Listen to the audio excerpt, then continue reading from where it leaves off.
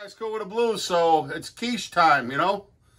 Not Lakeisha. Lakeisha's on video, but man, this cabinet, I got a little problem with the spinach. Some I'm gonna use, some I'm gonna use on the uh, raw, just like to garnish the top of it.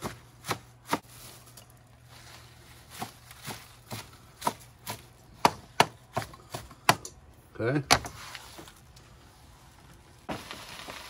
Oh, look. So I got a little bit of nutmeg. A little bit of nutmeg on your spinach. That's how we make uh, cream spinach. Also with a little nutmeg. But uh, some pepper. That's about as much as we want to get wilted down. And just going to set that on the back burner. And uh, let it cool down. So, uh, let's see, we'll get some eggs. Okay, doke. So I'm to show you a little something uh, interesting here. I think you'll find it interesting anyway. So, what I'm going to do is I'm to separate a few of the eggs, uh, egg whites. So I'm to whip the egg whites. Size of this one. Wow. Oh, double yolker. That's my dad's favorite. Look. Look, double yolk. yeah, I'm not going to divulge the uh, secret to where they're at because shape of that one. Huh? Looks like Humpty Dumpty. And um, so I haven't been able to really get any eggs all winter because they're, uh, they're, they're molten. Uh, they take it easy. Whip these up a little bit.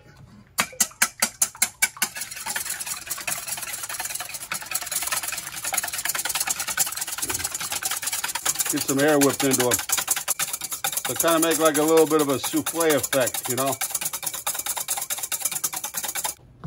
So then I'm gonna mix in, uh, I'm not gonna, the kind of a folding effect.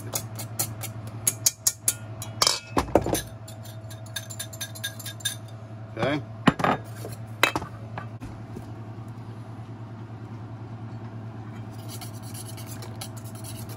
We're be making two of these uh, quiche.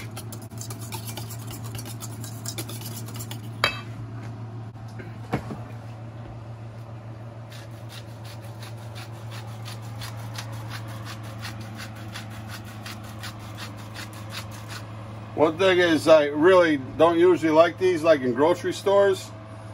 But you know what's beautiful about this? You can refill. It's got a it's got a twist top. Most of them they make them so you can't even refill them. But this nice Himalayan salt refill, we use it a lot. Um, some pepper. See, I like to get jiggy with it here. Live on the edge. Lift that top. Okay? And then, um, yeah. So then what I'm going to do here some Parmesan. So, you know, again, be careful with the salt.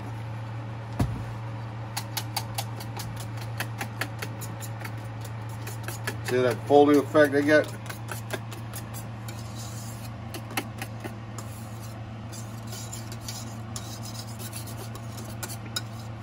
Definitely needs more salt. So, we get us uh, a little sea salt. Don't forget, you know, we salted, seasoned the spinach. So, we're gonna pull that uh, the pie crust out of the oven. You see, already started bubbling up a little bit. And uh,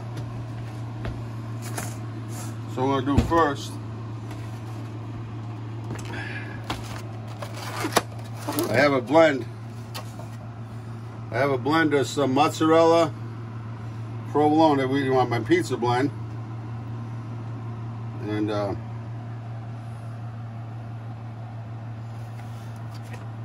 that's the pizza blend we use.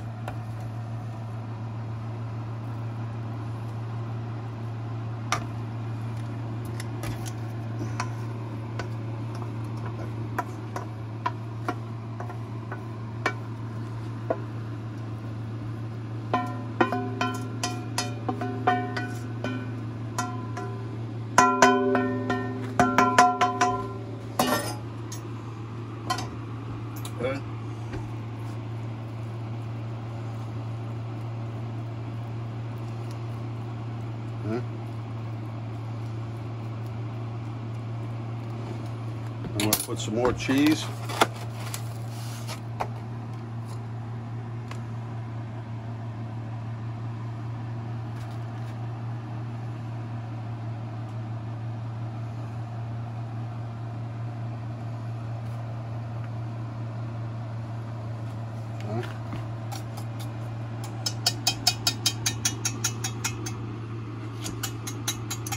You if I get it, actually, he licked that, he licked that whisk just like I used to do as a kid.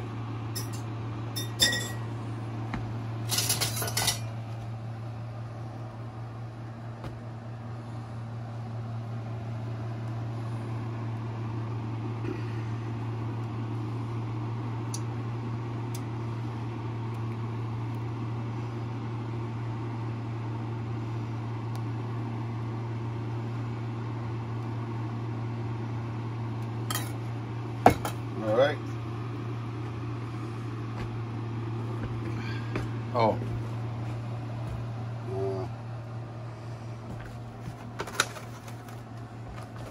That's what I want to do. I want to put a little bit of raw spinach on top. That was my intention.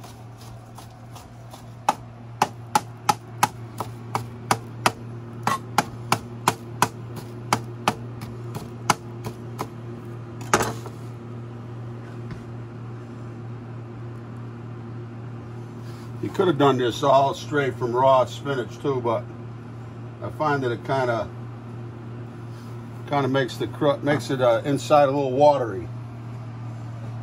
Yeah.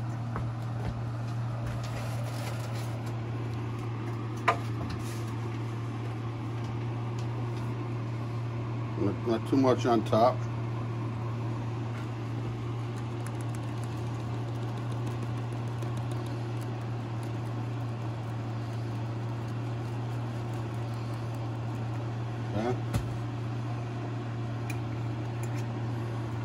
A little bit of a nutmeg. And um, yeah, sometimes I was to beat an egg and try to go around the edge with it. I don't think we have a pastry brush here right now. But that's it there. In the oven. In the oven she goes. And uh, I have it up to 350. Ooh, yeah. So uh, I'm to I'm just gonna set it in there. I'm gonna put it on the bottom, closer to the bottom.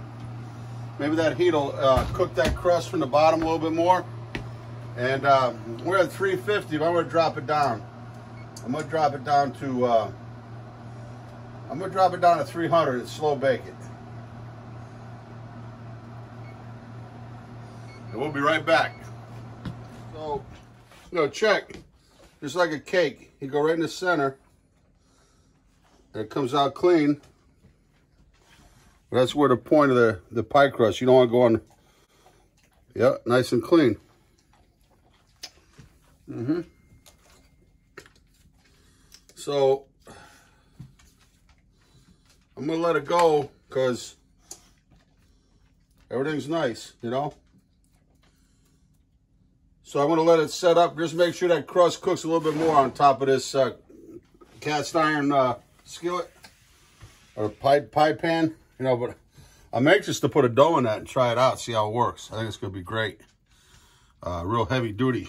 I don't know if it's a large or super heavy.